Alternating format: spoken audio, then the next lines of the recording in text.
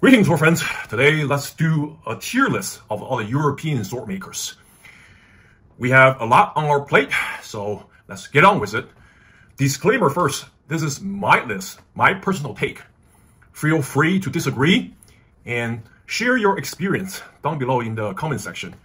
Please remain respectful to all the makers, obviously, but also to commentators. So Matthew Jensen, Kyle of Alientude, and Vic and John of Ashi's Sword Reviews plan to do our own separate tier list in our own videos, and there's a planned live stream, probably on a weekend, to exchange our ideas. So stay tuned for that live stream. And please do know that we already did a tier list for all the Japanese sword makers, and link in the description below, and check that out because it's a very instructive video for you to understand the active players on the market. Now, let's get on with it. First, let's establish some bottom line, right? The industrial standard of modern reproductions of European historical swords and what you can expect from the contemporary makers' work. First on the list is Albion swords, which is very convenient for me as Albion is pretty much the golden standards of the sword reproduction industry, as they have already established their reputation through decades of good work. Their swords are primarily designed by Swedish swordsmith Peter Johnsson through decades of his personal research projects and also exchange with other sword makers uh, based on antique originals at museums or private collections. And their swords, such as this Albion Sovereign I'm holding right now, are universally beloved by collectors, practitioners. They're taken to historical European martial art tournaments to compete in cutting competitions, and they have won countless laurels. So, very much so, all the makers' work have to be compared to Albion's in order to pass the sniff test. And obviously, we're going to put Albion swords in tier S. I think that's pretty much undisputed. Nobody have any disagreement of that. Do know that their workshop is located in Wisconsin, US. They do their sword primarily from computer numerically controlled processes to initially draw out the shapes, and then they have a group of very skilled labor to do all the grinding work. Their swords have excellent mass distribution based on many historical originals. And they also cater to modern audience sensibility of how swords should handle. So, in a sense, they represent the average of medieval swords. They're not that hefty, even though some of the types, such as the Sovereign, is considered somewhat on the heavier end of the spectrum. Others are rather lightweight, but they are mostly sticking to the historical average which is very pleasing to modern audience. You can see the reason why they are very respected, pretty much the principe of the industry. And Albion happens to be my personal favorite as well. Personally, I own 16 pieces from them, and you can see many of them on the wall in my office, but also in other displays. I just enjoy their look and feel that invoke the ideal of medieval historical originals.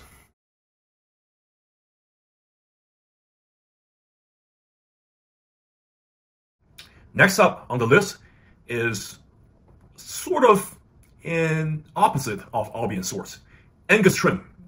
He has also been the OG master of swordsmithing in the industry, has already established a pretty solid reputation among the historical European martial art practitioner crowd.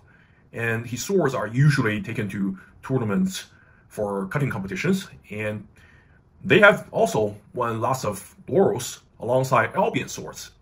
Also, Angus Trim is one person that has contributed a lot of his knowledge within the community. His opinions are highly respected. He is such a cool guy, was originally in the hot rod hobby or business, fine-tune commercially available cars into race cars. And you can see some of his philosophies in the sword making field, and he likes to fine tune his examples to the degree that they handle extremely well. And I believe Gus once mentioned that he met his wife on a race, so he's a machinist at heart. You can see many of the traits of his swords shared with Albion, and I believe Angus was one of the sword makers there to teach Albion how to use CNC to make sword blades when Albion transitioned from using Del Tin blades to in-house production, executing Peter Johnsson's designs. And has an emphasis on the handling of the sword. His swords are usually very lightweight, nimble. That's almost on the extreme end of the spectrum, probably equivalent to the most lightweight and lively feeling swords among historical originals.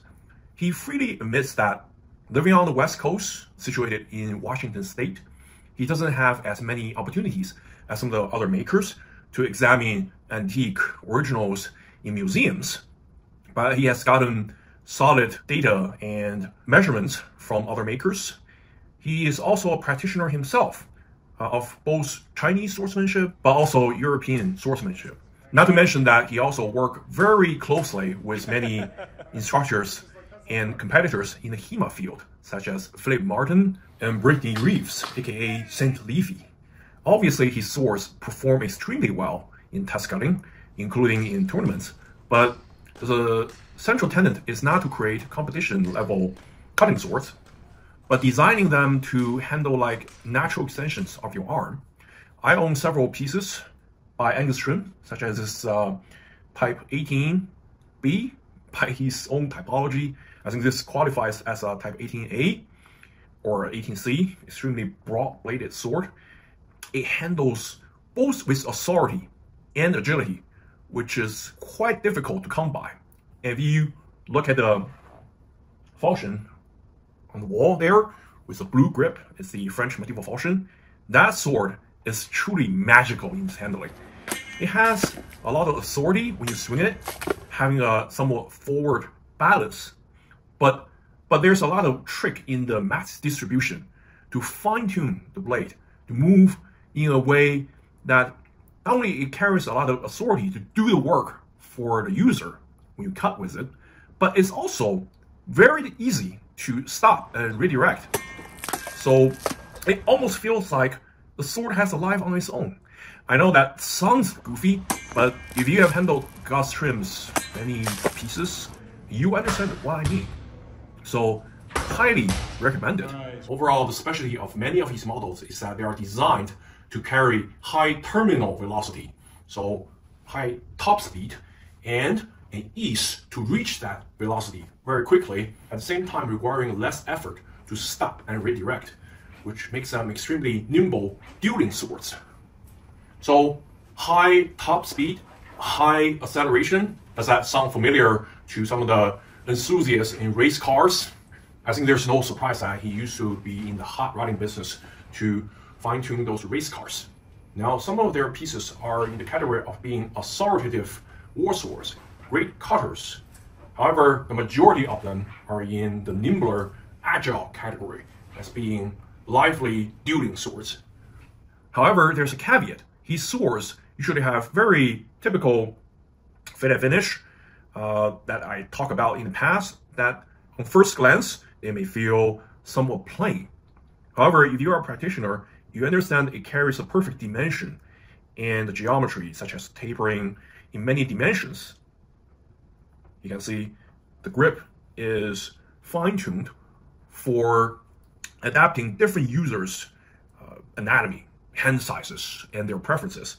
Now, many have made the observation that Angus Trim swords have relatively simplistic hilt components.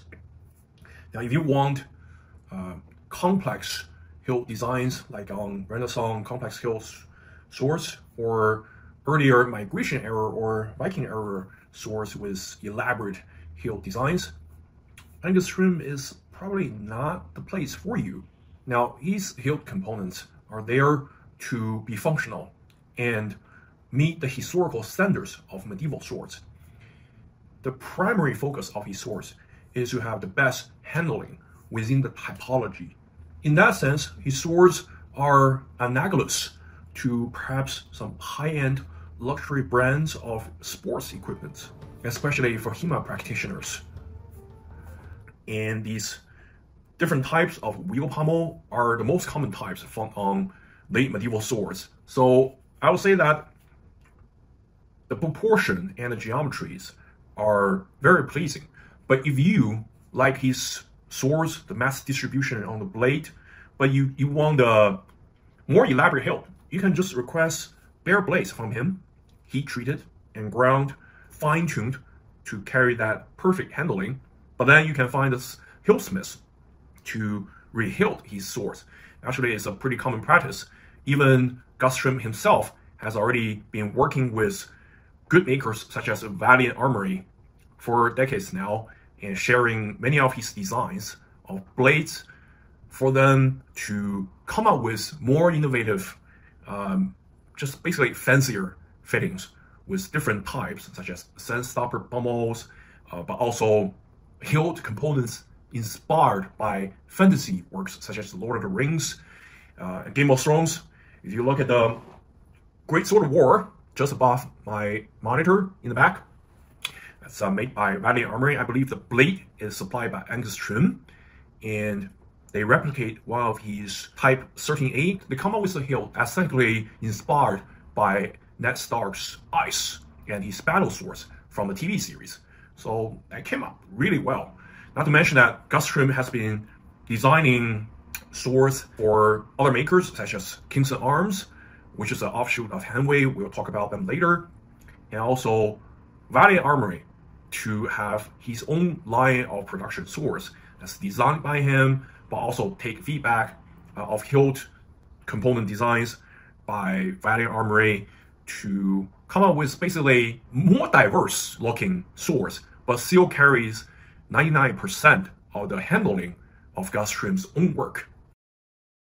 And I believe he has suffered a stroke sometime in the last decade, so he semi-retired but then he came back into sword making and only improved since then.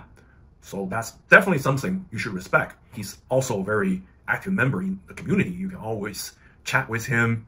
Even given his seniority, he doesn't really need to listen to anyone. But I have done reviews of his swords in the past, and he actually reached out to me after watching them, told me that he has taken my advice, such as dulling the edges on these cross guards to make them more comfortable to handle. And you just have to give the guy credit as he actively improves his craft.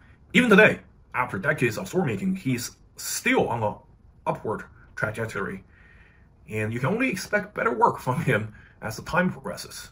So definitely a tier S for me.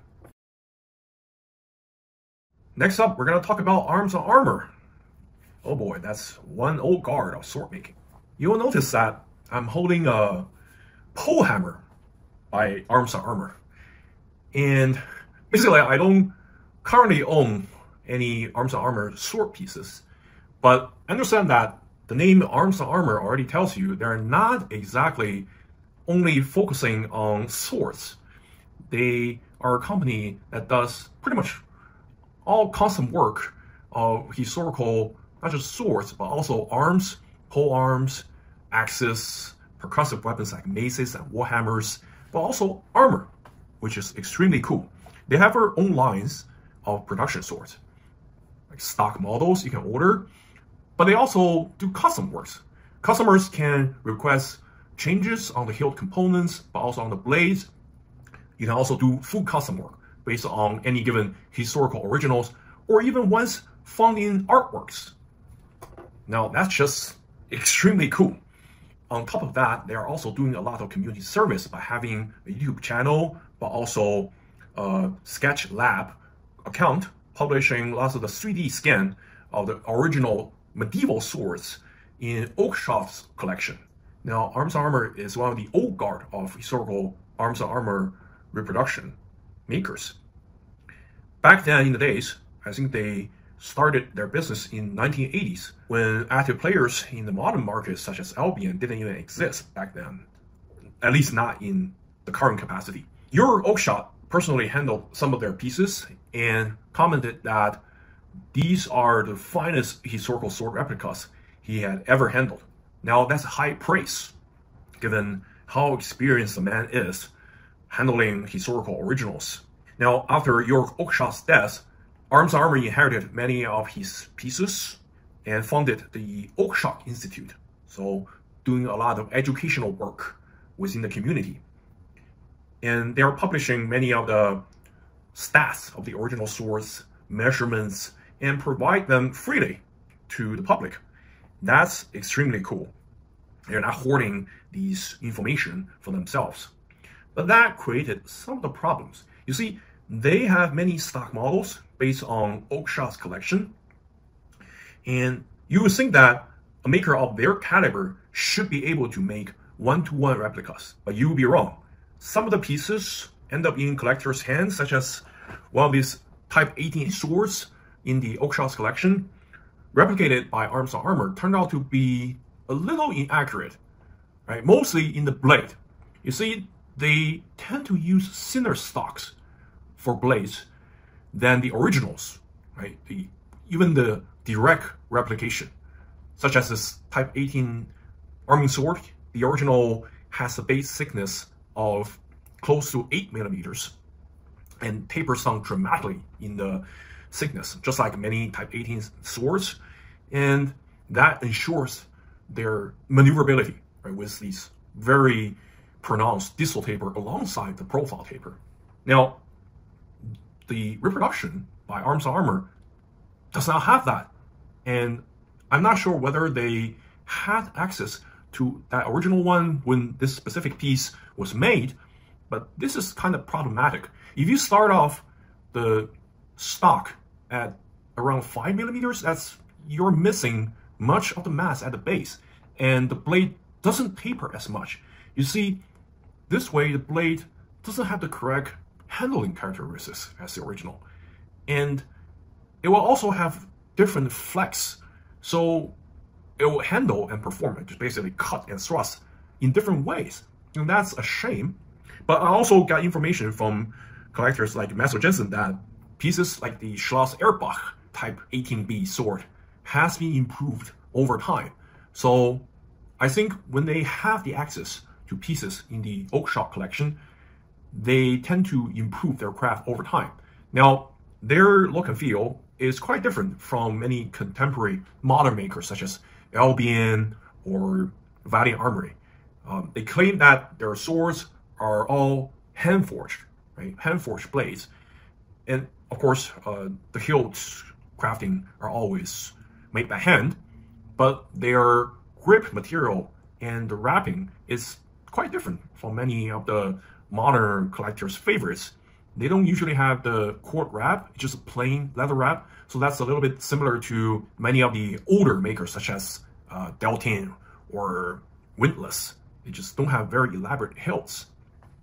But I have seen many conflicting reports. Some customers absolutely love their work, especially many of the Renaissance period swords. Those are not made frequently by production makers, uh, such as the Munich Tongard sword with the steel wire wrap. Those are done extremely well, and they are very close to originals, not just in look, but also in construction method and handling. Probably the prettiest looking sword in my collection so far. Well, there are other swords such as rapiers. They just don't have the correct base thickness, and I don't know why. Since their swords are all hand forged, it should be relatively easy for them to have the correct mass distribution distal taper. Feel free to disagree. I think their production stock models should be ranked between A and B. Some pieces are definitely superior and beloved. Others are, shall we say, have room for improvements. But their custom pieces are extremely well done. And for all the work, the community service they do for free, and all the adaptability for creating diverse types of arms and armor, I think they should get credit for that.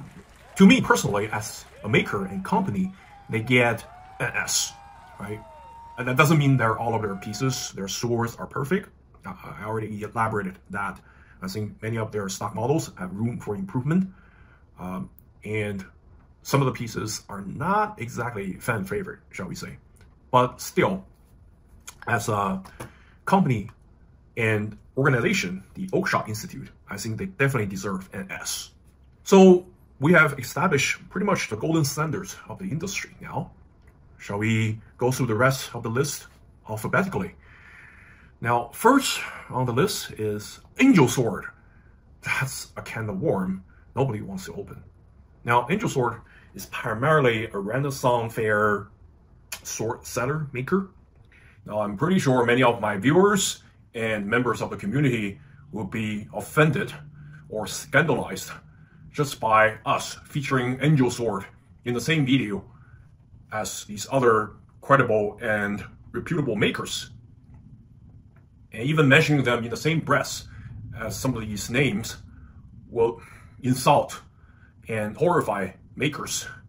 But I encourage you to keep an open mind, give them the benefit of the doubt, and they make rather unconventional swords, very different from historical swords, and sell them for a very considerable amount, often in multitude of thousands. Now, if you sell swords that not only do not look like historical originals, but also do not handle like them, often overweight for their sizes, having a arming sword that handles like a two-handed sword. It doesn't even handle like a two-handed sword, it weighs as much, six pounds. But most of them do not have the distal taper and the correct profile, and they have almost zero regard for the typology for the time period. And they also present them as historical swords. They just name them arming swords or crusader sword, katana, sabers, while sharing very little resemblance with the originals, both in the looks and in the construction method, but also in handling. I mean, if you look at this pretend Viking sword by Angel Sword, it's got the wrong profile, wrong fuller, I bet, wrong distal taper, wrong guard, wrong pommel. Grip is twice as long as it should have been. Weight is twice as heavy as it should have been for its size. And somehow they ask for $4,000 for that? I mean, if you want a Viking-esque fantasy sword and you have thousands to burn, wouldn't you prefer this one by Fable Blades, which we'll cover later? Look at the sword. Not only it's got all the proportions, dimensions, and weight and balance, mass distribution correct as a historical and practical sword. Also, it's got immaculate execution of gorgeous designs with tasteful artistic license.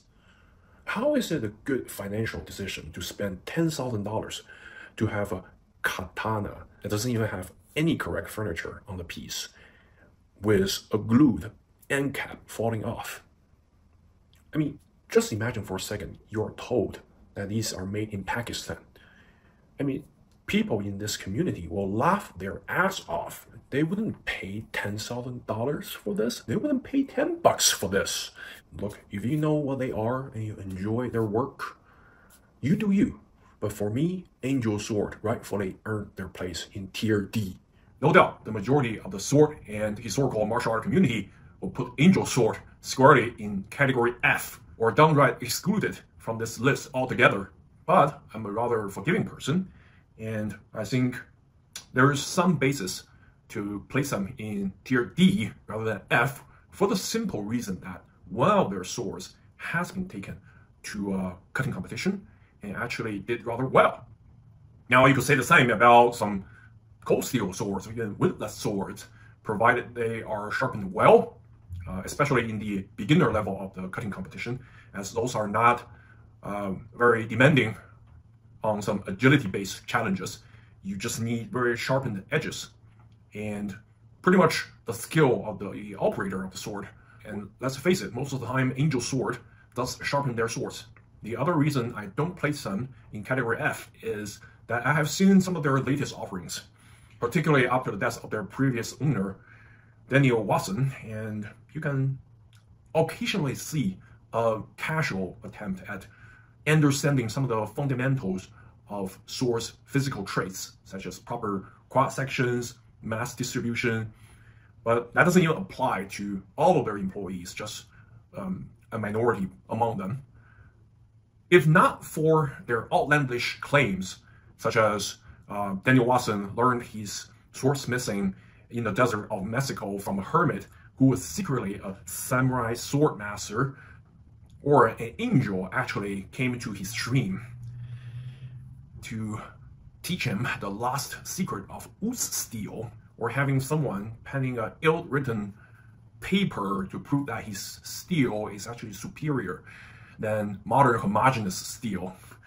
We're charging an outrageous sum of money for each of his ill-designed, overweight, all the balance bad swords, if you can even call them that, with minimal effort invested on each one, whether it's in research or design or execution. That will solidly place them at the bottom of even tier D. I will argue that some of the other makers, which you'll see later in this video, are much more honest, and even though they sell ill-designed swords, and they still charge according to the tiny amount of labor they put in each piece. Next on the list is the Art of Fire and Iron, which is a Chinese sword making company. It has their operation located in Europe, so all of their swords are sold in euros. They are primarily a maker of Chinese and Japanese swords, but recently they've gotten into European sword making. Now, judging from the few pieces I have seen, they seem to have very good understanding of sword making. They have the correct profiles, distal taper, mass distribution, they handle very well. Matthew Jensen has reviewed one of their swords, type 15A or 18B.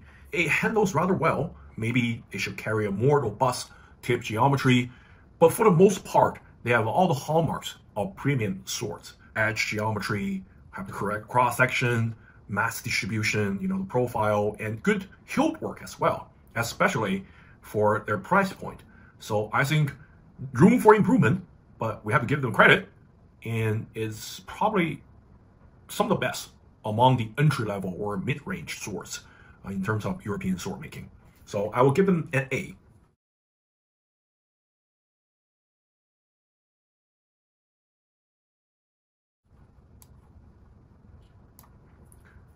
Now, next one on the list is Balaur Arms, which is one of Kult of Athena's in-house brand. They have shopped around different makers for contracts for quite some time now. The first batch, I believe it was made by OTC, which is currently being rebranded into Eric Steelcraft. Their swords have interesting designs that take heavy inspiration from historical originals. If you look at their Italian longsword, it's basically the Brescia Spadona's hilt lifted entirely, mounted on uh, Type 18B sword blade, historically plausible. Especially when the original Brescia Spadona had a blade made in Passau, Germany, well, in the Holy Roman Empire at the time, but being mounted to an Italian-style sword hilt in Brescia. So, very good concept, and the original maker has some trust issues, how you say, on the steel they use, and I think their work, or rather, just inconsistent. So, Kult of Athena terminated the contract and sought out Windlass Steelcraft for their second batch. Second batch, um, I wouldn't say was an improvement, and the source may carries lots of Windlass hallmark, which we'll talk about later, which is good for the price, but not exactly great. And then they summarily terminated the collaboration with Windlass and sought out LK Chen for their final batch and introduced many very bold historical designs, such as the Kriegsmesser and Alexandria Arsenal sword, which I reviewed earlier in 2023. And check out those videos. I would say, unsurprisingly, given the reputation of LK Chen, which is a historical sword recreationist, mostly specialized in the Chinese sword uh, field, but also dabbled in European swords lately, which we'll talk about later when we talk about LK Chen swords. They have very solid understanding of sword making, given the amount of historical originals they have examined, right? Both Chinese swords, but also swords in other you know ethnic groups, like Japanese swords, Persian swords, but also lots of European swords, such as rapiers, right, in their own brand. Also, LK Chen is a practitioner himself. He does a lot of swordsmanship, you know, sparring, test cutting, but also horsemanship, mounted archery. So there's no doubt the swords he makes for the Balaur Arms really elevated this brand.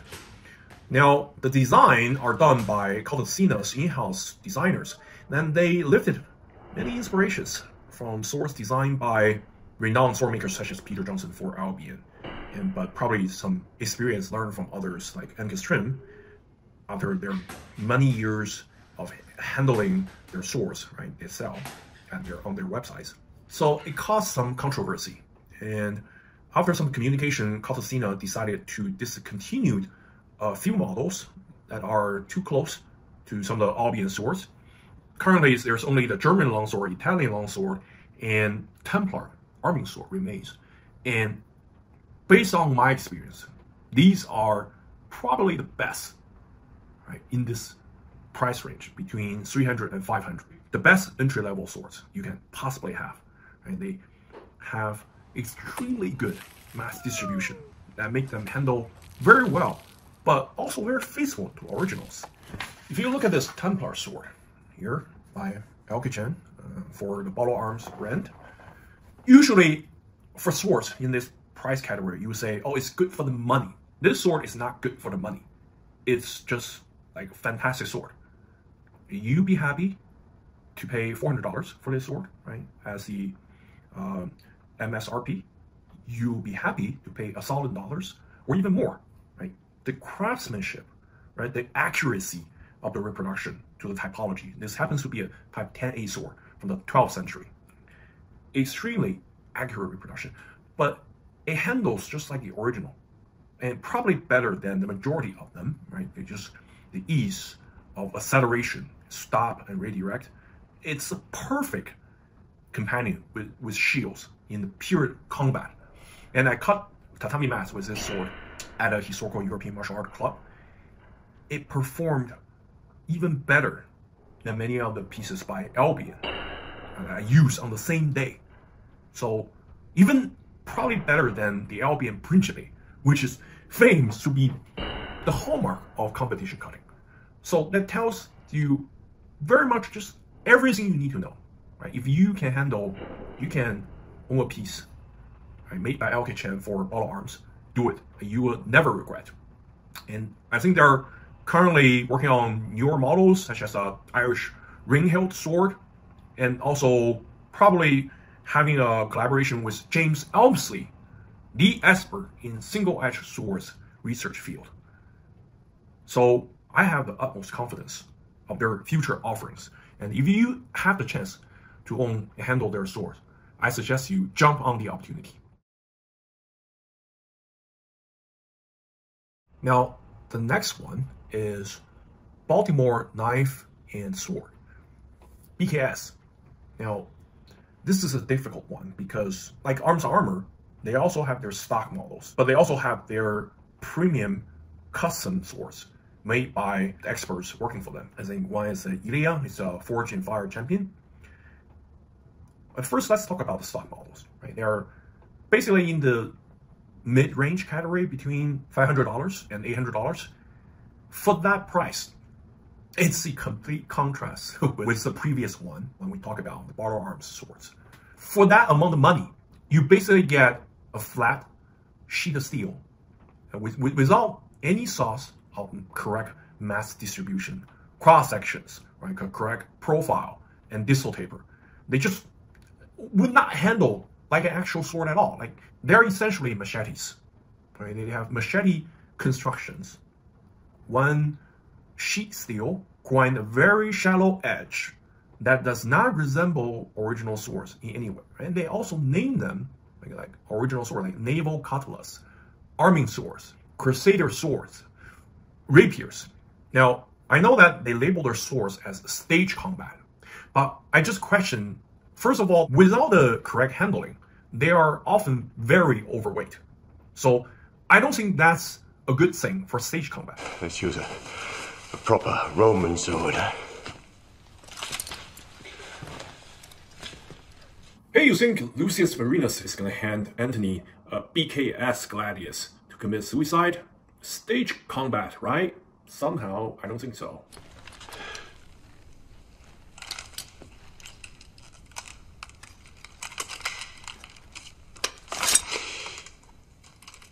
Damn good sword.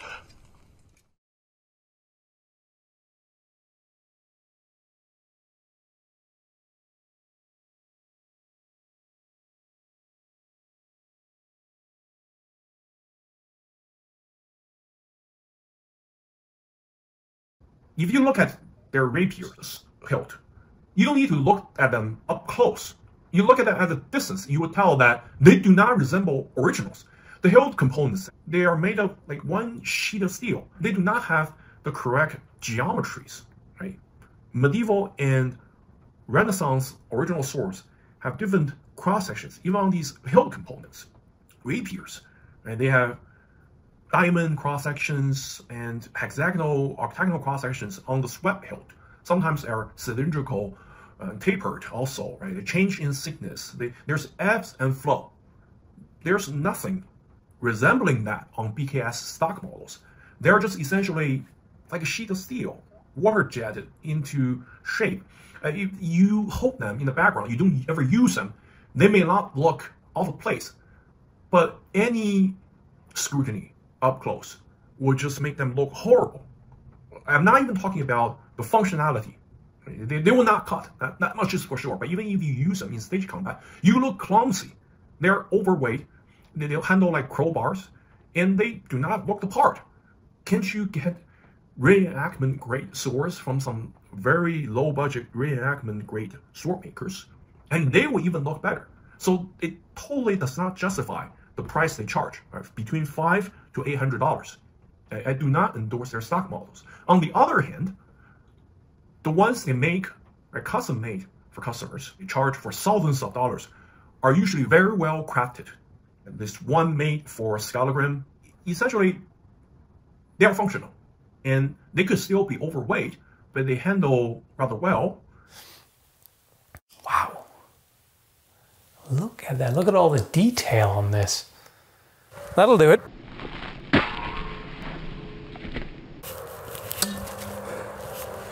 All right. Oh, yeah. The only the custom made project part that makes them a, a, good company.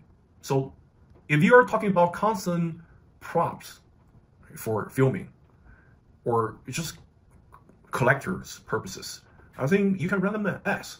But as a sword making company, I'm I'm sorry, uh, they I think they're basically on par with Angel Sword. And one good thing they do right, in comparison to Angel Sword is that their swords are not overpriced.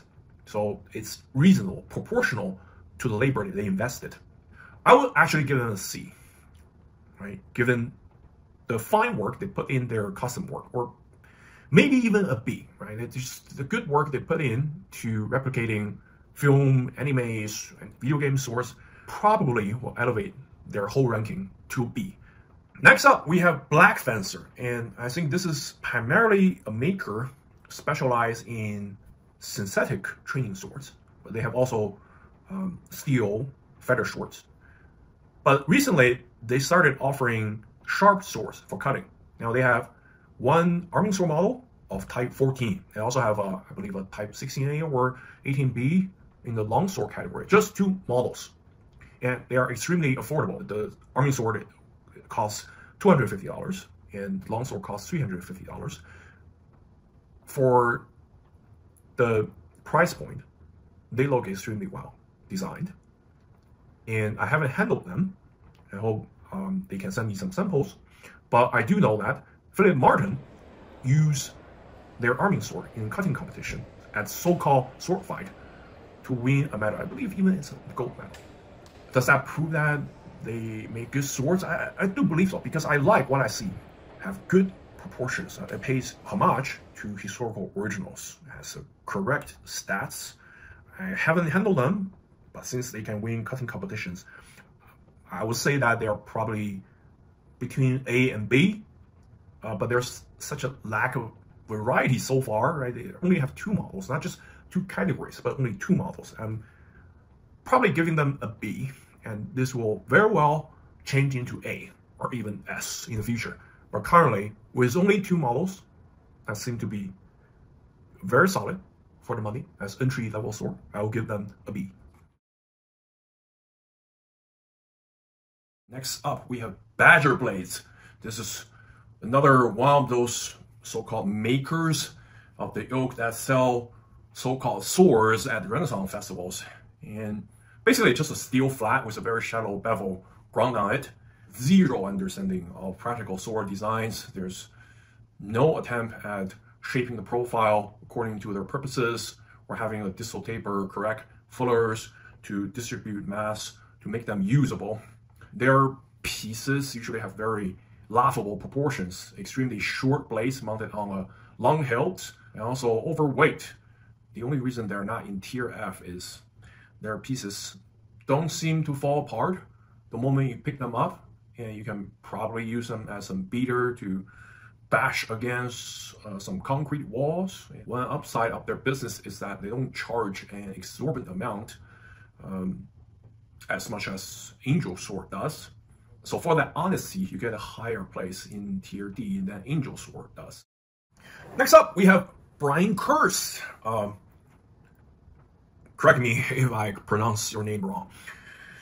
Now, this is a sword maker located in the US, and he has his own workshop. Is specialized in many of the swords overlooked by, by the current market of historical reproductions. Renaissance swords, such as Cinquedea, and ones with many fullers. I have seen his work with dozens of fullers, and that's crazy amount of work.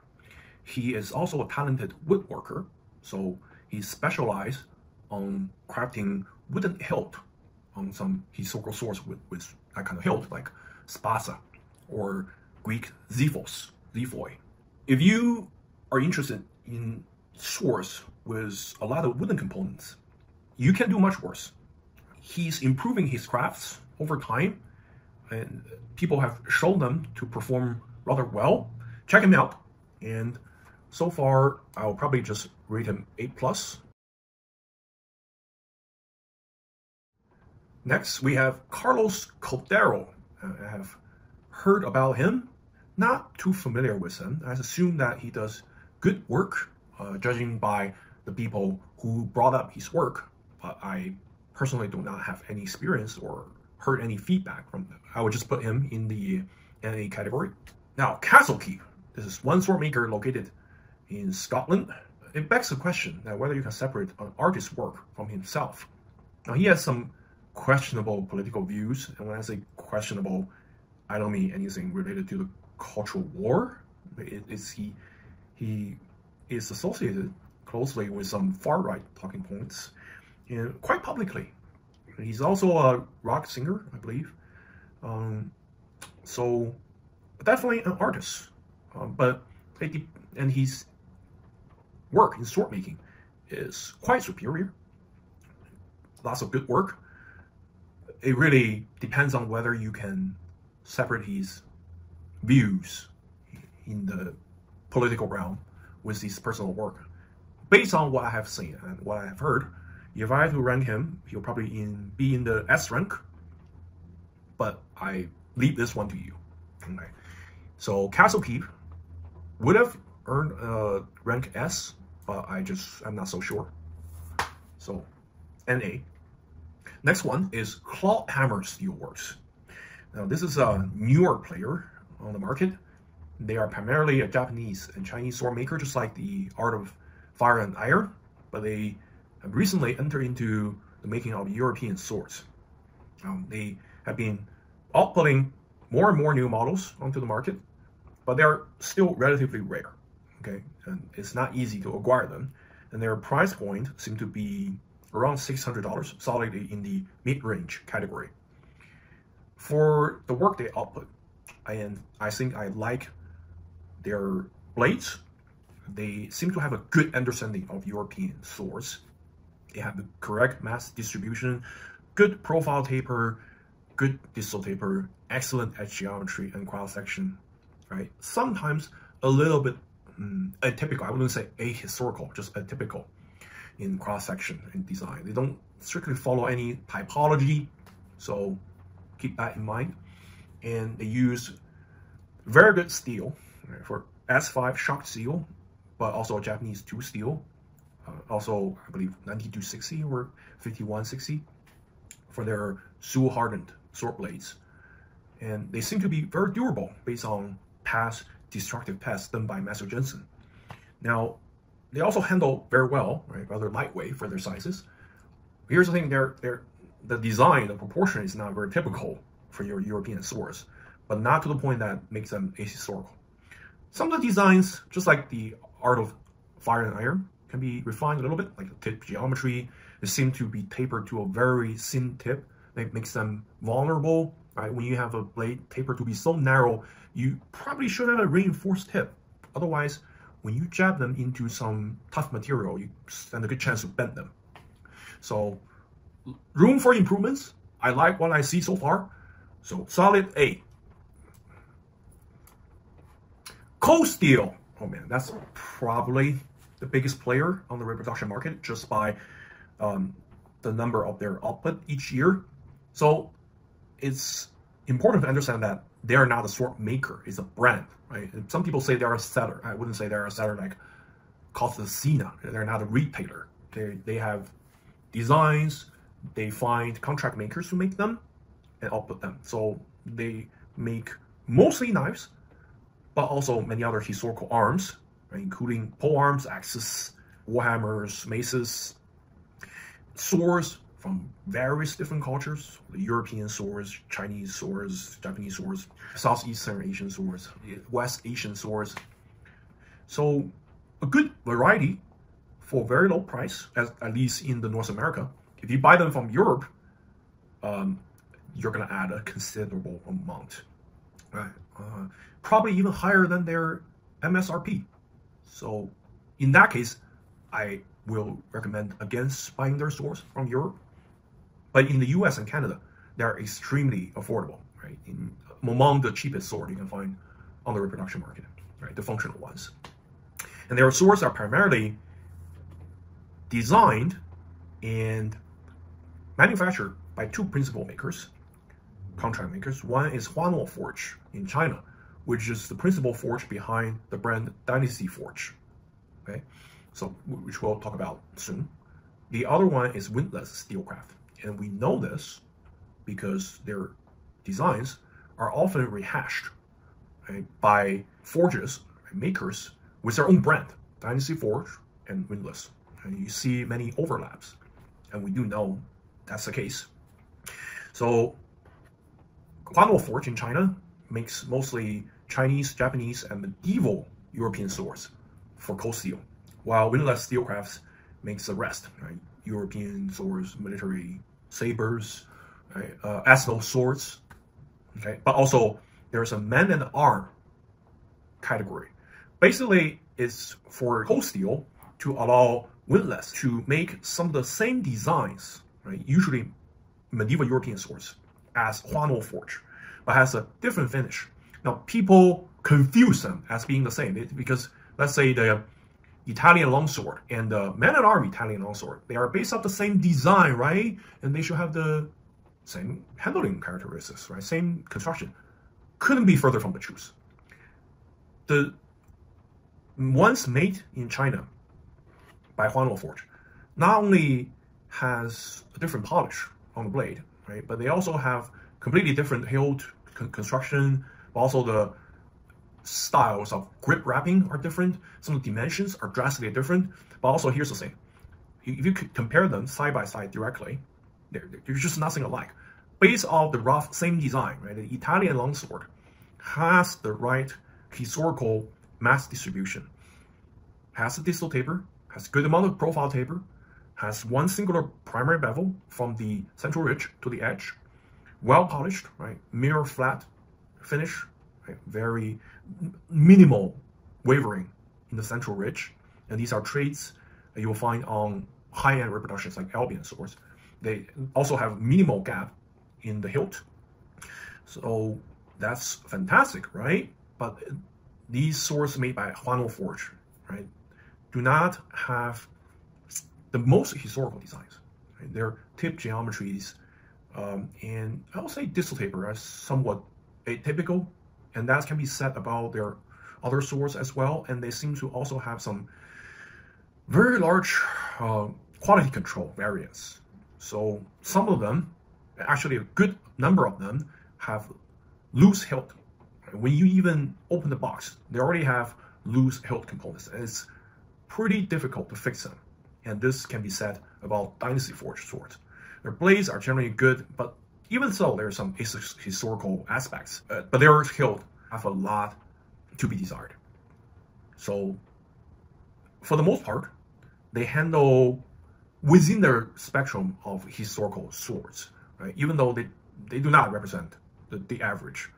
And sometimes their designs are downright ahistorical. Right? Some, there's something wrong with that, especially with the Viking sword. But the Men at Arms series are even much worse. They have even cheaper construction. They do not even offer scabbard, they offer floppy sheaths. Their blades do not have the correct cross section. They do not have much distal taper at all. It has to be said that usually they are lightweight for their sizes, not overweight, but with the wrong mass distribution.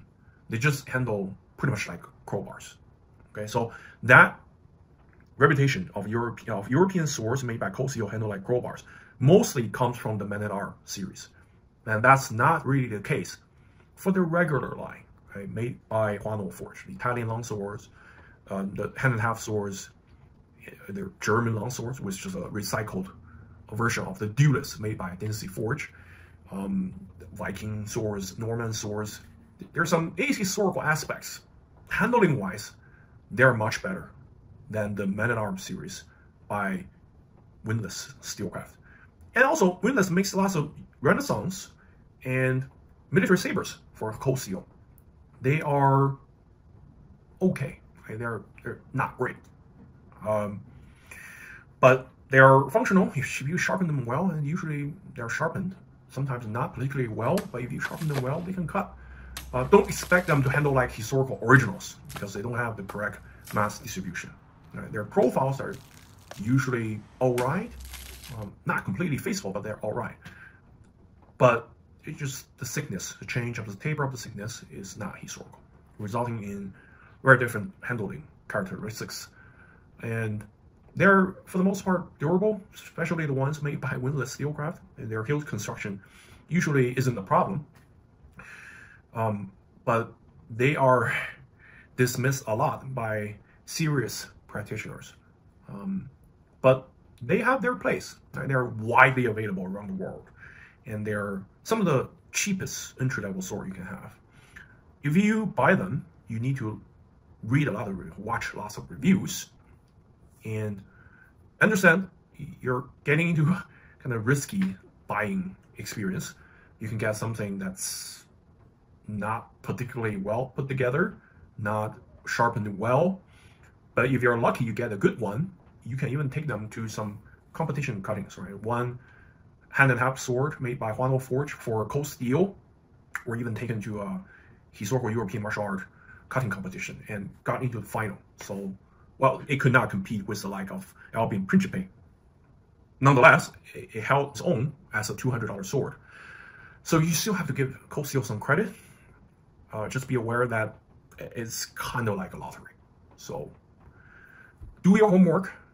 And some of the recent models seem to be better. Um, they're not necessarily European swords. Sometimes they are Asian swords, like from Afghanistan or the Philippines um, or Indonesia, or, you know, inspired by the Asno swords. They're getting better mass distribution with more distal taper, right, which is one thing improved by windlass Steelcraft, which we'll talk about later. So Cold Steel, I'll give them a rank of C uh, for Cold Steel, and I think that's more than fair. Next up, we have Crown Forge. And Crown Forge is funded by uh, the VP of Albion Sword. Thus, um, he has done lots of research on historical original swords with Peter Johnsson. Um, so you can understand the caliber of the creator at Crown Forge. So I would expect basically the same level of craftsmanship um, and understanding of historical source. Eric McHugh is the gentleman's name, and I think you can basically trust his craft. So Crown Forge is a solid tier S. Next up, we have Historical Swords Zone by Damian Sulowski. And this is a Polish maker. Previously, he was working with his brother Mateusz Sulowski, which is another very respected sword maker in Europe. And a few years back, he has started his own sword making business. Very cool guy, and I think he has different emphasis um, from his brothers, right, preference. He's more focusing on high medieval swords, right, from type 10 to type 14 or 16. So basically the 11th century to 13th and 14th century. And his swords are um, beloved among collectors, right, enthusiasts, practitioners. Very well crafted, very clean, uh, often somewhat austere in appearance because, you know, 11th, 12th century swords should look like that. But he also makes very intricate scabbards. I think he works with his wife. Uh, excellent source, uh, no doubt, tier S. And since he's relatively new to sword making, not not to sword making, I just having his own sword making business, I'll give him a tier S. I think that's more than fair. Next up, we have Dark Sword Armories, the most controversial maker in the industry, right? And they have made many enemies among sword makers, and for good reasons. Um, there's some controversial practice over the years. Well, the thing you have to understand is that their swords are designed by their owner, Eyal, and they're not made by him or his employees. They are made by contract makers found in Asia, primarily in China and India, but maybe from somewhere, somewhere else as well. And these contract makers, for the most part, are solid right, makers. And I think they are not contracted to make whole swords. They're contracted to make blades of Dark Sword Armory's in-house designs and individual hilt components. Right? I think it's fair to suggest that Eyal does his own research, goes to museums, visit museums. I don't think he has access to the back room examination of antique originals to measure them in person. You just look at them, take pictures, and you can say that Eyal is um, is a student of history, right? But there's some traits of personality that ultimately prevents his his endeavor uh, from being a very respected one. He there's certain pride in his work, which is good, but sometimes I think it prevents him from being humble enough to learn something from his customers and from other makers, but also being honest in the source or origin. Okay, and I do believe, and I could be wrong, but I do believe their swords are made uh, in Canada in certain capacities. And they claim, they, they proudly claim their swords are made in Canada. Like this Type 18 arming sword here, um, what they call Henry V, which has some passing resemblance to the original sword that's um, claimed to be Henry V's personal sword. But there's a lot wrong. There's also a lot that right on this uh, example. First of all, if you do not make a sword from start to finish in Canada, that's totally okay, right? Valiant Armories is a very respected company, sword making company, and they used to make swords from bare blades they acquire from contract makers based on their own designs from China. And they're honest. They do all the hilt work in the US and they sell them and price them as such. Nobody has any complaint about it. Within the last few years, they changed their mode of operation by acquiring the equipment to do computer numerically controlled processes to mill their blade blanks. So that gives them better quality control, that gives them uh, more freedom to have very diverse designs. So that's a good thing for them, right? For Valiant Armory. And people are also happy about it, right? There's a price increase, but then now they're they can make more diverse swords and arguably better swords, right? But even if he they kept making swords, right, from mounting swords ordered from China, right, with their local made hilts, that's not the problem. Nobody has the issue. I don't care where your swords are made, right? Even if you order Balaur Arm swords are entirely made in China right now by LK Chen. You have a good maker. You should capitalize on that. You should not hide that. Okay, and, and this is no problem at all. Now, if you want to order components from your own design made by others and you put them together in Canada, that's not a problem at all. I don't have any issue. I don't, I don't think anyone even has any issue with that. But if you tell them your swords are made in your garage, right? He made a YouTube video named How Dark Sword Armory Swords Are Made. I think there's enough deniability in the video. He didn't say, oh, all the swords are made in here, but it was clear that's not a regular forge. It's all staged in the workshop. Everything is there, there's not a lot of equipment. Everything is just loosely placed there. It does not look like an active forge. And we know that for the amount of output they have, it's not possible for him to make all these sword blanks in, in this tiny workshop. And you see that he just used hammer. First, he shows a lot of footage of him putting a blank of steel in a fire and to heat them up, and then just bend them without any, just bend the steel without any purpose. He shape a tip, and then that's it. There's no shaping. There's no understanding of how forging should shape the correct cross section, the correct edge bevel. They just shape, bend on the steel blank to form a tip, and that's it. And they, they don't show anything else. They, they, they move on to the next hmm. shape a tip, and then they just move on to the belt grinder. That's just not how swords are forged. Right? Forging requires you use the hammer, whether you hand hold the hammer or power hammer, to shape them and give them correct geometries. And the distal taper. There's no distal taper in his sword in that video, right? But there are distal taper, right? Usually on his swords, on the swords he sells. These blades are not made by Eyal and his employees in Canada. These swords are ordered from contractors in China. Right? This specific one is in China. There are other other ones being ordered from India, and we do know that Eric Steelcraft, aka OTC, does some work for them, contract work for them. Uh, seen in this post that has been deleted once people discovered it, that shouldn't be a hidden knowledge. If you look at this video of theirs, purportedly showing their daily operation. They took the time to record an employee heating up a steel chunk, pouring some sand on it, but when he was about to bang on it with a hammer, it conveniently went out of focus and blacked out to a jump cut that out of the blue shows them putting the guard onto a magically materialized blade that's in a near finished state and doing merely some final polish. There's absolutely no evidence of any forging process involved with all the tiring work of shaping the cross section, fullers, and edge bevel inch by inch. One swing of the hammer, you black out, wake up with a finished blade in your hand. Isn't that expedient? It was almost as if you had a bunch of imported bare blades sitting in the corner, waiting for you to put hilt parts on. Hmm, I wonder. Look, it's not a gotcha.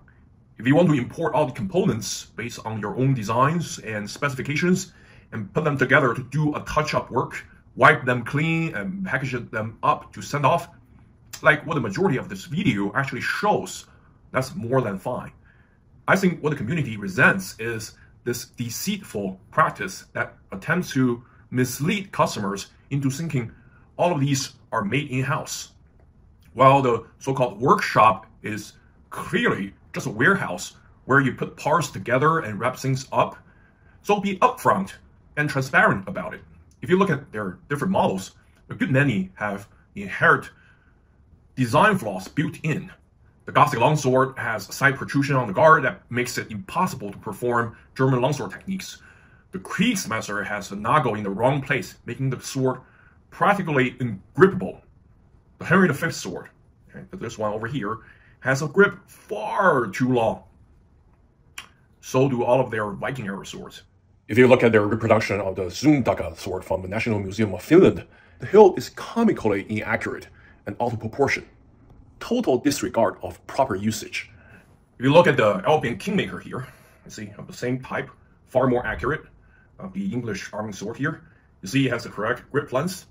This is how you're supposed to use the sword, right? With half your palm by the side of the pommel, of this wheel pommel.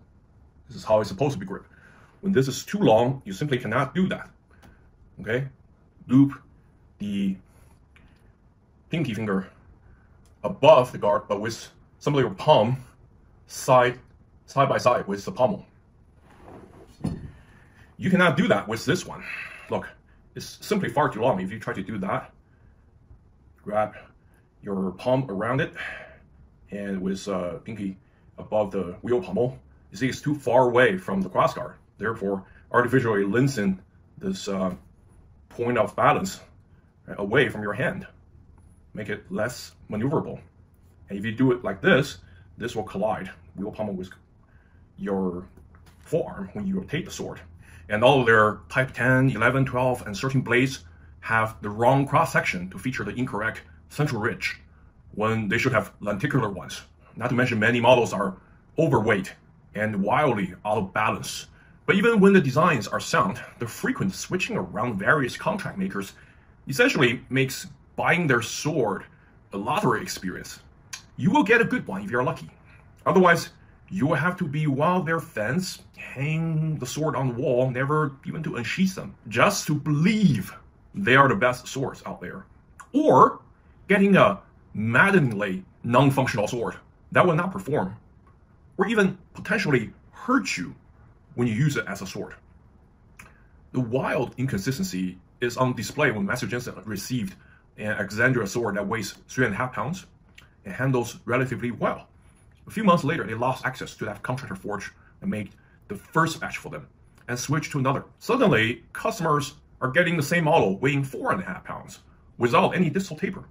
To measure the mass, um, and this is pretty damned heavy, this Alexandria uh, replica, at over 1900 grams. That's uh, quite a bit over four pounds, about 4.2 pounds, I think. Person behind Gentleman's Choice YouTube channel was a major fan of Dark Sword and did a review of this sword. He was visibly in agony as he was dying to love the sword, but the sword simply handles nothing like the one he ordered. He deleted his entire channel after that. Arthur from Mr. Caliber channel was an even bigger devotee of Dark Sword, as he bought dozens of them. He had tragically passed away last year, and for the final review of the Baron sword, he requested some footage of Dark Sword Armory actually forging the sword he ordered, as a sort of a final wish. You know what Dark Sword did? They sent him a picture of them sliding a guard onto the tang. So was Arthur's final wish honored? You tell me. I think lately the company is trying to push some genuinely interesting models, uh, such as a few Oakeshott Type 20 swords, which are rather rare on the reproduction market. There are some respectable efforts at capturing the unique cross-section of the blade, even though Dark Sword's models are usually poor cutters, as they lack the understanding of proper edge geometry some of their contractor forgers are more competent than others and are capable of outputting legitimate swords, provided they are given adequate designs to begin with. This Henry V sword is pretty good on the blade portion, but has an incorrectly shaped hilt. but for 700 to $900, I just don't think it warrants the investment simply to test your fortune. You are almost guaranteed to get a better sword from many makers on higher tiers for a lower price, such as this Albion Squire line knightly sword here. Uh, costs less than 500. Um, far, far superior sword. You know, the Balaur Arms, LK Chen, European swords, just, there's no comparison. Right? Dark Sword even isn't on the same level with them. So for all the practices of questionable ethics and the wild inconsistency, they get a C. And I'm being incredibly generous here, as I'm sure many in the community are eager to place them in tier D or F. Next up, we have Dark Wood Armory. And this is a maker, uh, has been putting out mostly sports fencing level of um, blunt swords, mostly rapiers, but also like cutlass and such. I think they can make sharp swords if you custom commission from them. And I have handled their swords at um, uh, Academy Duello HEMA Club. And their swords feel just wonderful. Okay, um, I'm not so sure how good their sharp swords are, but if that's how they make their blunt swords for sports fencing, like I say sports fencing, just HEMA, right? Sparring or form training, they will be very good. And I think their prices are not very high. And to me, I think that's a solid A. And yeah, I'll say they'll probably even before the two Chinese makers. Yes. Next up, we have Deepeeka. Okay, so I think that's um, they claim their swords to be battle ready, uh, made of hard high carbon steels, uh, peened. Check all the the basic boxes, you know, it's all the buzzwords for entry level collectors, sword buyers. Um, but their swords, they have been the subject of ridiculing among serious practitioners and collectors for a very good reason. They are a very low cost brand from India to make primarily reenactment grade swords. Okay, if you do not use them, you hang them on the wall. Although I do not recommend them uh, for war hanging, they're not the best art you can you can hang on your wall. Uh, but if you just carry them by your by your side and going to Renfest, right, Renaissance festivals, or some historical reenactment, most of their models are gonna do fine. Right? They're not gonna fall apart when you see some some casual clashing with other blunt sword will not break them since they're made of uh, EN45, which is just a low cost uh, steel, very commonly used by Indian low cost makers. Um, they their swords do not have their, the correct distal taper. Usually they have none, um, which make their swords do not handle like originals at all. Usually overweight, but sometimes underweight. It's just a flat bar steel. This I have to give it to them.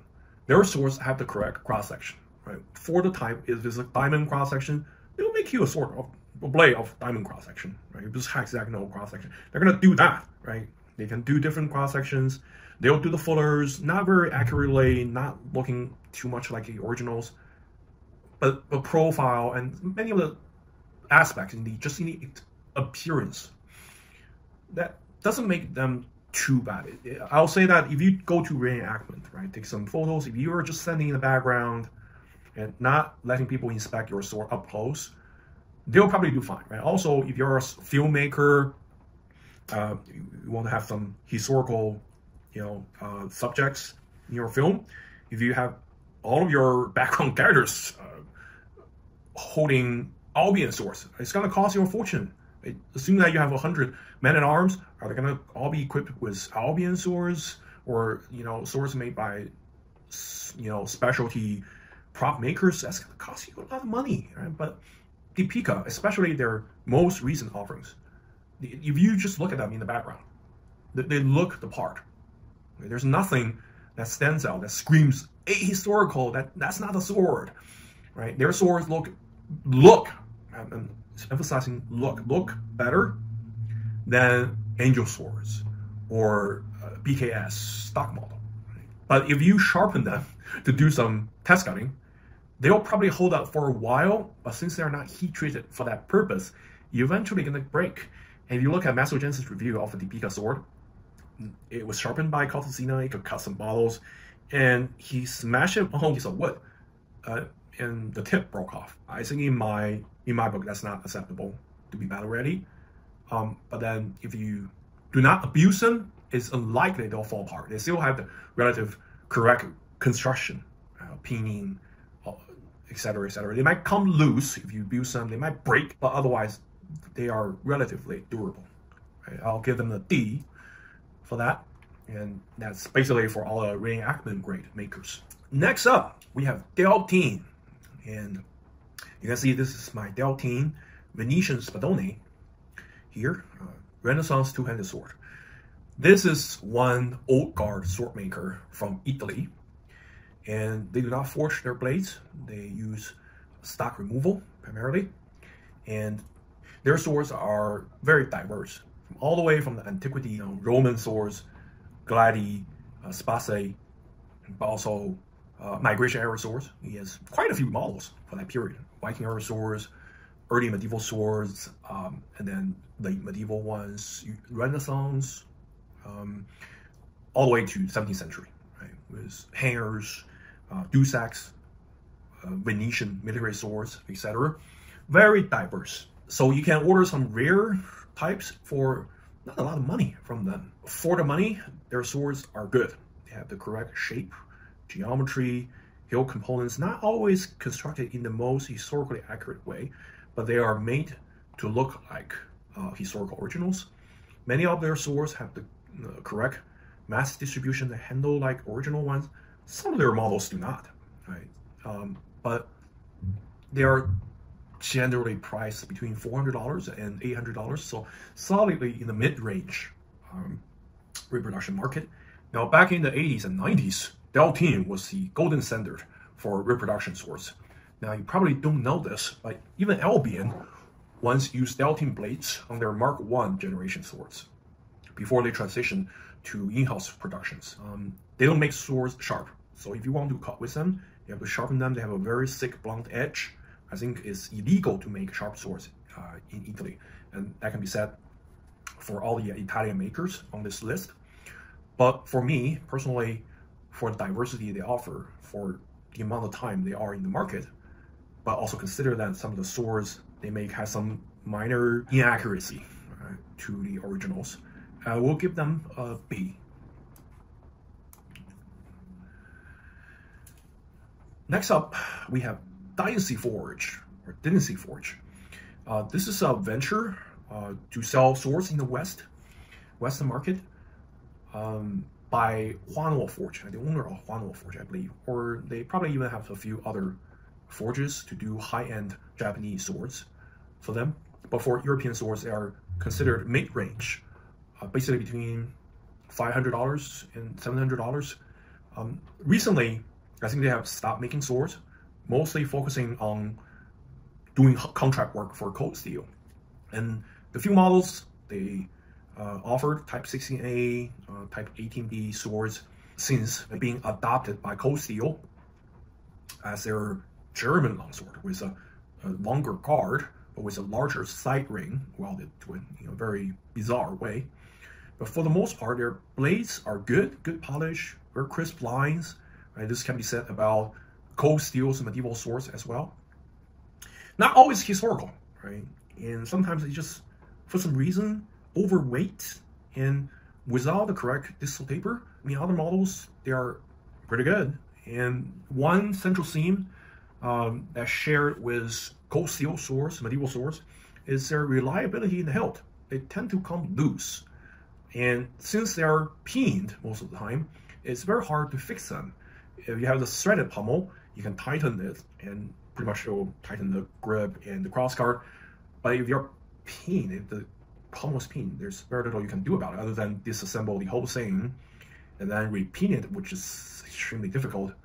Um, so for all that and the price they charge, I was saying you probably give them a C, same as Cold Steel swords. Also, their swords are priced a little bit higher than Cold Steel, so I would say that is definitely a C. Next up, we have Algor or Alger. This is a sword maker from Czech Republic or Czechia. And his work is highly respected within the community and collectors enjoy his work. I've seen his sword with a custom designed intricate hilt by my sword friend Jean-Paul Unfortunately, this sword was stolen um, in the summer of 2023 during the riots uh, in France. Very well crafted, good understanding of sword making, so I will give him an S. Next up, we have Ensifer, or Uncifer. Uncifer is run by Polish swordsmith Jan Chodkiewicz, who happened to be a competitive HEMA practitioner, specialized in longsword, messer, and Polish saber. He has his own sword making business, primarily focusing on Polish sabers and longswords, um, mostly feather swords, very high end feather swords, usually priced between $600 and, and $800. Um, that happens to be more expensive than Albion's feathers, longswords. And he also makes sharp swords, sharp Polish sabers and long swords. You can see here, he does a test cutting on pork ribs with two separate gambeson. Cut through two gambesons and into the pork rib and cut boom. So you can say this one person that understand fencing, understand sword making, given the amount of fencing he does himself, he's probably a high level competitor. So I would say give Jan um, solid tier S. Next up we have Fable Blades. Fable Blades is run by Australian swordmaker Brendan Olszowy. He has been making both fantasy and historical swords of crazy complexities. Of course, he is capable of also making swords of austere look and feel. But why would you settle for that when you can have this? True heirloom level swords with the most intricate details, hand carved, almost like jeweler's work. You assume that these are really pretty jewelries, wall hanging arts, and they wouldn't function as swords. And you would be wrong. Brendan himself is an avid sword enthusiast. He has done test cutting on many media, and if you look at each project page of his, he lists all the details with the utmost transparency. Everything from weight to balance, profile taper, distal taper, he lists it all. And even the steel used, the heat treatment details, and even the hardness of the blade are listed. So you can tell this is one person with hell a lot of knowledge about swords. If you have all the cash to burn, sky is the limit, obviously. And I often get lost while admiring his work in the galleries. Looking at the photos of his work just ruins swords for me. And I have to make myself stop. Everybody will agree he should be ranked as tier S. Next, we have Dr. Fabrice Cognot. So this is a highly respected French maker, and he has access to many museum originals, does lots of research work, just like Peter Johnsson, um, just highly regarded uh, among his peers. Okay. What's interesting is that Fabrice Cognot focuses on recreating rather unique pieces, uh, such as swords with different and unique geometries, or hybrids between swords and polearms. Also, obviously, he has recreated many pole axes, pole hammers, and percussive weapons, often with good complexities, such as surface engraving, but he mostly emphasizes on recreating pieces that look the part, that resembles museum originals. That often means leaving flaws, imperfections, such as file marks, pitting, minor asymmetry on blades and hilt components. It has to be said that this emphasis isn't the preference of every modern collector. However, if you're a serious student of the sword and history, you will appreciate that. So I think it's rather uncontroversial to rank Fabrice Cognot as tier S. Next up, we have what Fabrice Cognot calls the legendary Gael Fabre, who is highly respected among his peers. His works are much beloved within the community, given their impeccable historicity and craftsmanship. Just work of art and I mean look at these look at the attention to detail and the level of fit and finish.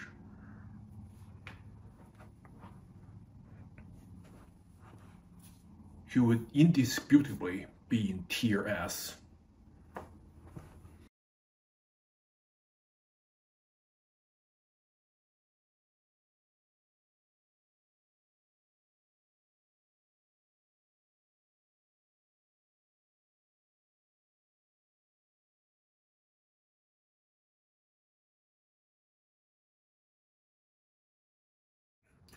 Next up, we have CAS Hanwei.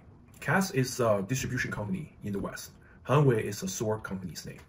So Hanwei is one of the old guard of sword making uh, situated in China. They started making Japanese swords from the 1980s and then expanded uh, to other swords like Chinese swords, European swords. Very diverse, all the way from Viking era to the Renaissance. I don't think they make sabers, military sabers, early modern swords, but uh, they have a very wide range of offerings. Um, I think you have to look at specific models. Uh, in their early years, they made some very badly designed swords, a few of them, like the so-called Henry V swords that doesn't share a lot of resemblance with the actual original. Some like war swords, just very generic sounding swords and they have totally wrong cross section and the wrong profile. Proportions are very bizarre, but only a few models. And then uh, they have received competent counsel from sword makers like Michael Tinker Pearce. So Tinker Pearce has his own line at Hanwei to reproduce a few of his designs, and those swords are very well crafted for between $200 and $250 and $300 you have an excellent sword, right? That's crafted with uh, all the correct cross section, mass distribution, good edge geometry. Sometimes they're not particularly sharp, but it's very easy to sharpen them up to perform well. Uh, one thing is that they, some of them are pinned, others are threaded, and the ones threaded, um, like this Hanwei Tinker Bastard sword here, tend to come loose after a while. The good thing is that they can be rather easily tightened is a Allen wrench, and they handle pretty well.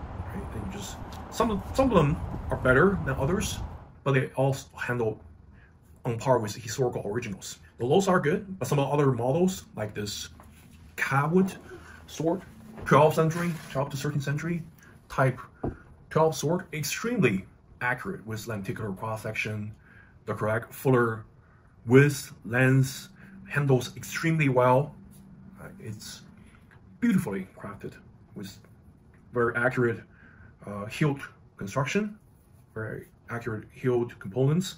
Uh, with the original, it's just a, like a fan favorite sword, right? highly regarded in the community. Right? All the categories, you know, just hilt construction are very tight.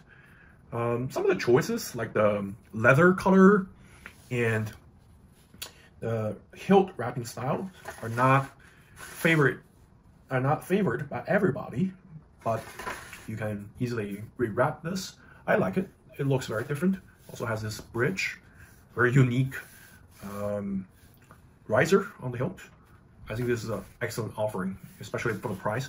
But they also offer many direct replicas of historical originals that are extremely, you know, cost efficient. They're not exactly cheap, right? They're price usually between $300 and $800 and even sometimes even pricier. Some of the earlier models like Charlemagne Saber um, with very premium material. I think back then it cost more than a thousand dollars. Just very well crafted swords. Okay, but even their basic models are generally reliable. Sometimes they have some issues with heat treatment. Um, I think there's one even like Hanwei Tinker Pearce practice sword even broke at the tang during filming. That's really bad for their reputation, but they tend to correct their mistakes very soon. Sometimes their blades have deviated a little bit further away from the design, and the designer, Michael Tinker Pearce, had a chat with them, and I think they sorted out um, within no time. But just be aware that as a mass production company. They have large output, right? A little bit smaller than cold steel and with less steel craft. Still, they output many swords, and there's a chance that you got a lemon.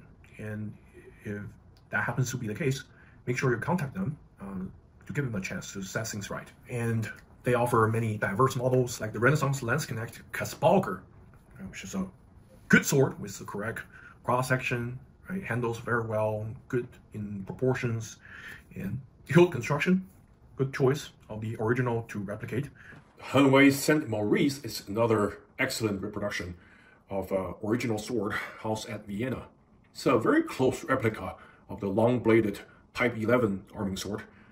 Weight and balance, mass distribution, and uh, hilt components geometries are extremely close to the original.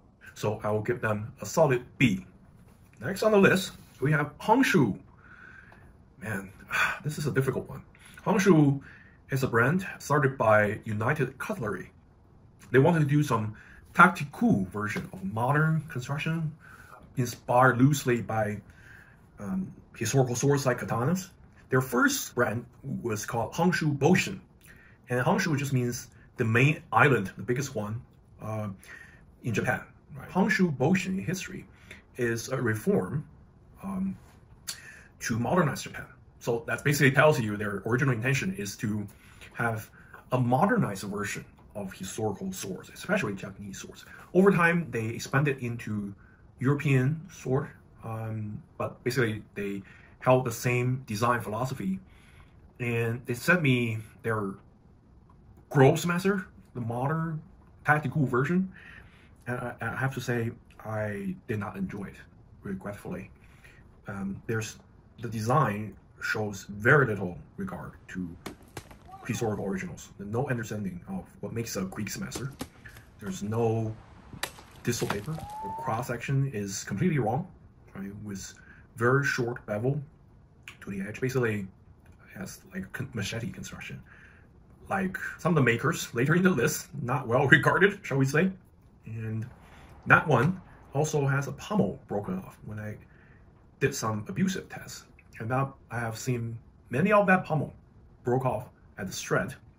And luckily, their grip is pinned to the uh, to the tang of the sword, so your sword blade will not come out flying after the pommel fall, falls off. But that's a still a catastrophic failure. From everything I have seen, I would not recommend the Honshu Boshin line. But then, in 2021, they started a Honshu historical, it's called Historic Forge. I think it's historical right? and they actually um, improved over time. They work with Windlass. All the swords are being made by Windlass Steelcraft, and since Windlass is improving their crafts over time, um, Honshu is improving theirs, right? Um, they get some advice from Windlass, some input from Windlass on their designs. The first one didn't go well. The first one is a hand and a half sword that weighs five and a half pounds, is a fail. But they immediately corrected that and, and lowered the weight to three and a half pounds. Still heavy, but within the historical range. And after that, the newer models have even better weight and weight distribution. They consulted me personally, uh, Claymore. I give them the desirable weight and balance and weight distribution, you know, the cross section, um, but also distal taper. And they think that um, it's difficult for Windlass Steelcraft to do exactly that, but they took my advice uh, to keep that weight and balance and have some degree of distal taper on that. I reviewed that sword. They sent me a review sample. I didn't think I would like it, but I do like it. It's not perfect, but it performed well. It handles pretty well. It's rather lightweight for a two-handed sword. Pretty large, and I think it's much better than the Man-at-Arm series uh, Windlass makes for Cozy. Much, much better. So I think that um, as this line progresses over time, it'll get better, right? And also, Honshu has contracted OTC, Eric Steelcraft, the previous maker for Balaur Arms, to make some more historical designs. Um, some of their designs are like clearly a ripoff of Albion ideas, but I've seen reviews by Alientude seems to be doing a good job, and they seem to have, as by accident or intent, they have improved over the first generation of Balaur Arm swords. So I would think that that earns them a tier C. But then if they keep improving, could elevate them into tier B. And also that their swords are rather affordable. Right? Entry level swords are priced between 200 and 300 dollars. You have to take the price into consideration. Next up, we have In'Carius Craft or In'Carius Craft. So uh, that's a business owned by Rafał from Poland, I believe. This is a relatively newer maker. Uh, he has a large presence on Etsy, which is rather rare. He makes various medieval swords, um, from earlier types, type 12 or so, all the way to type 16, 18, you know, 18C. So he has a good diversity in his offerings, and you can custom commission from him. And his price, his prices are rather reasonable, right, comparing to other Polish smiths. Um, from what I have seen, multiple examples. Uh, keep in mind this is from this is on his work from a few years back. He seemed to mostly employ a convex distal taper, and this is a little concerning. Makes his sword a little, shall we say, like I wouldn't say tip heavy, right? I wouldn't say I would say meso heavy. If it's already heavy in this region below the tip, it's called the foible, the weak. You don't want to parry at this portion because the leverage dictates that it will be pushed back. But it's the ideal cutting portion. You want this part to land on target because it carries the most amount of tip speed. You don't want the middle part, the meso, to be too heavy. Okay, it should be tempered to have significantly less weight than the base. Not, not as much as the, the foible, obviously. His source tends to not taper as much from base in the middle section. So it feels, it'll feel a little weird, right? It's not, they don't feel clumsy, but they, they do not feel as good as some of the other makers' work, okay? And they do look very good, right? Like higher end swords. And I think I see a tendency of making the grip very thin. Um, I think that's a mistake. If you want your sword to handle well, you should have you should not have very bulky grip, right? To spread the fingers apart. You should also not make grips that's overly thin. That's also not conducive to good handling. So I think he can improve upon that. Maybe his more recent work are better, right?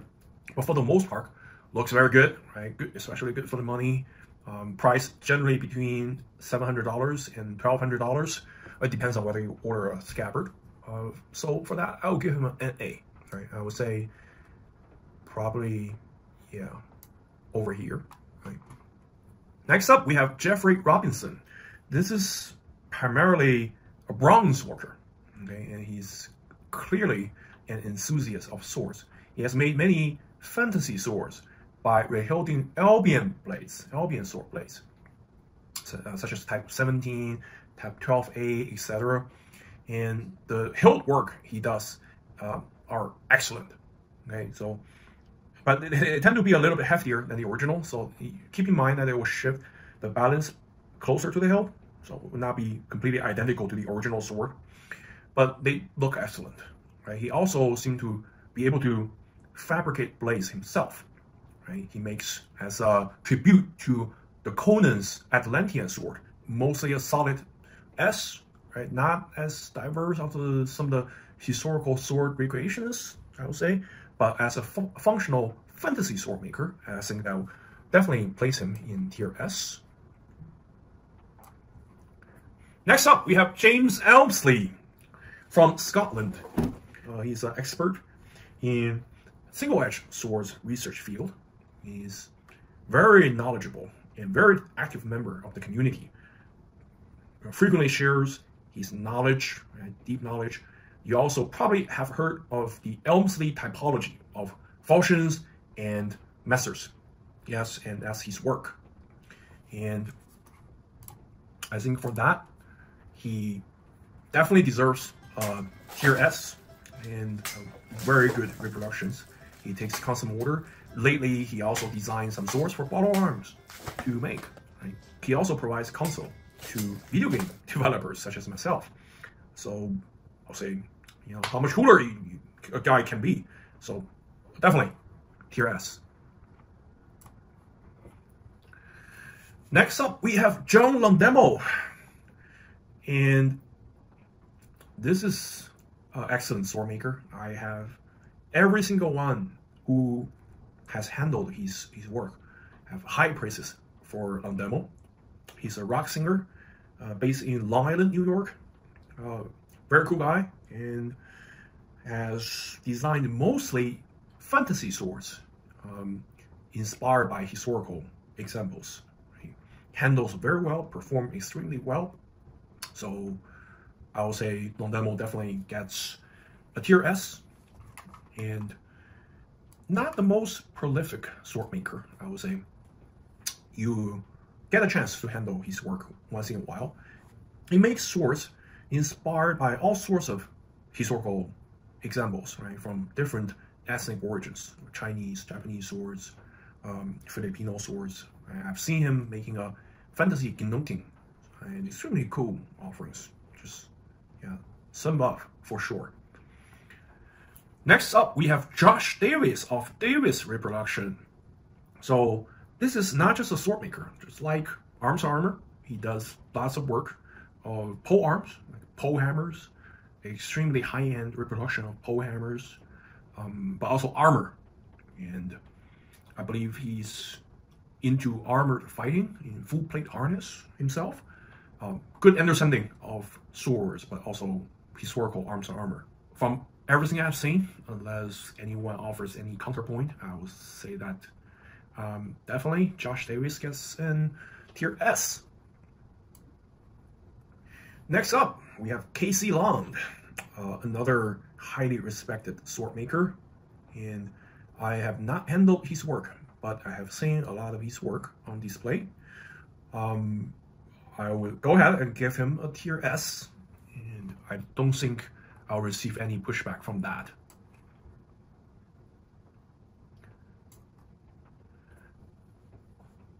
Next up, we have Kingdom of Arms. Kingdom of Arms is a new brand created by Legacy Arms Gen 2, previous owner.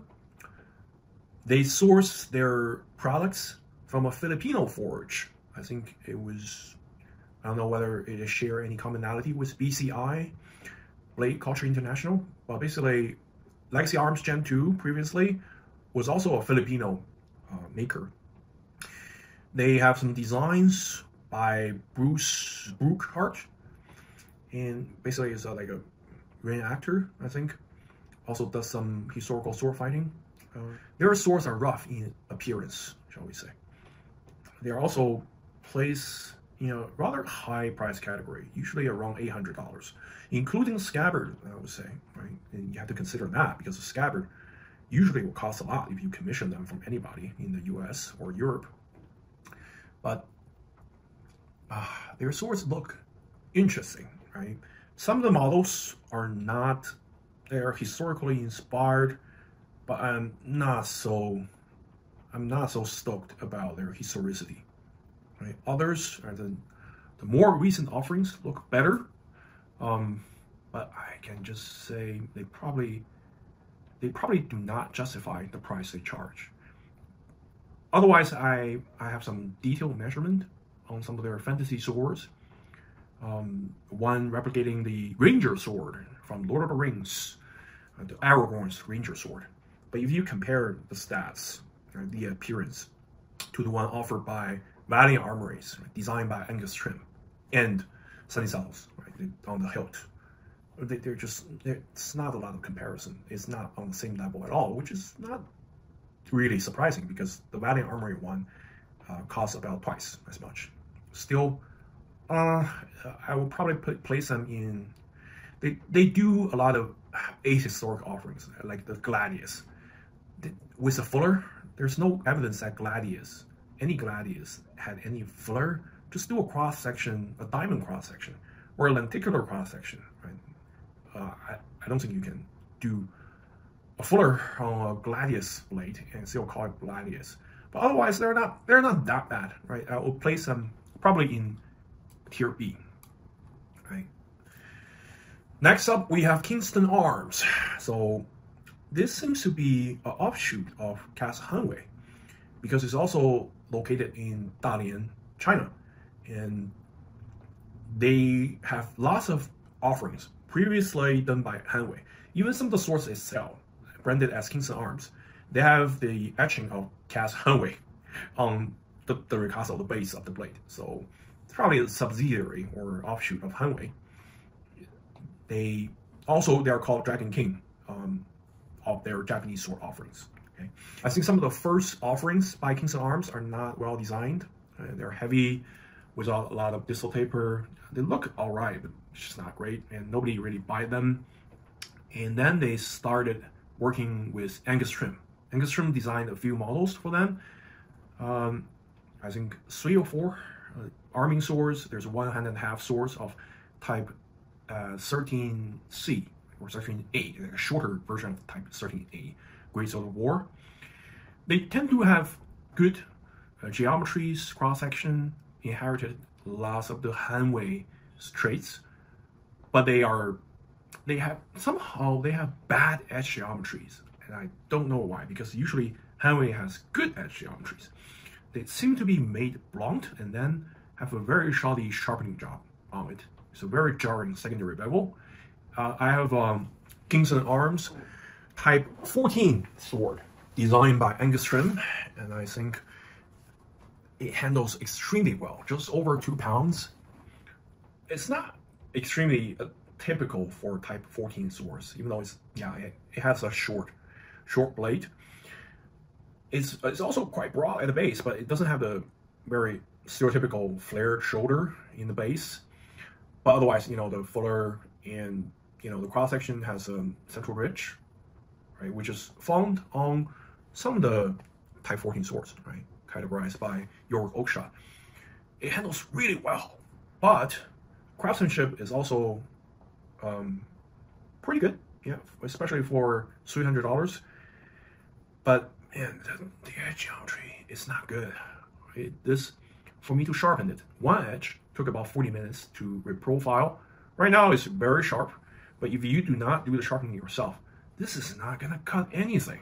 You're not gonna have a good time with test cutting, and I think that's one of the categories, right? The performance in test cutting and test thrusting, how how a sword should hold up in that.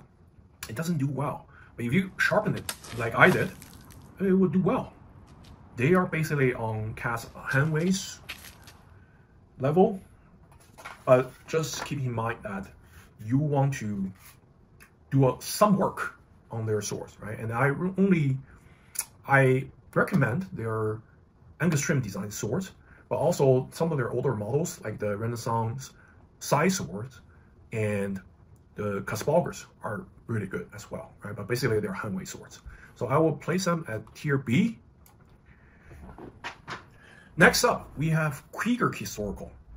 So Krieger Historical makes some arming swords and messers. They look pretty good, um, but a little bit generic. Okay, and I have also seen longsword type 15A long made by them not having a lot of distal taper. Uh, they're just like some of the swords made by other Eastern European sword makers, right? Not the ones of the highest caliber.